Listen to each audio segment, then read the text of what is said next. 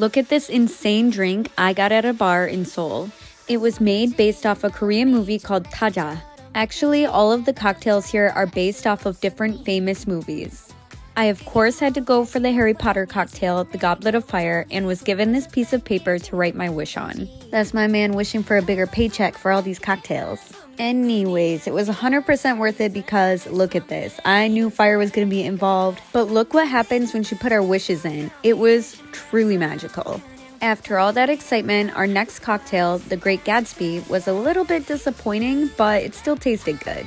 We ended the night with the Dark Knight cocktail, and the presentation of this one did not disappoint. The atmosphere here is super cozy and goes along with the cinema theme. I cannot recommend this bar enough. It's called Chapter 1 in Shinsa. Go check it out.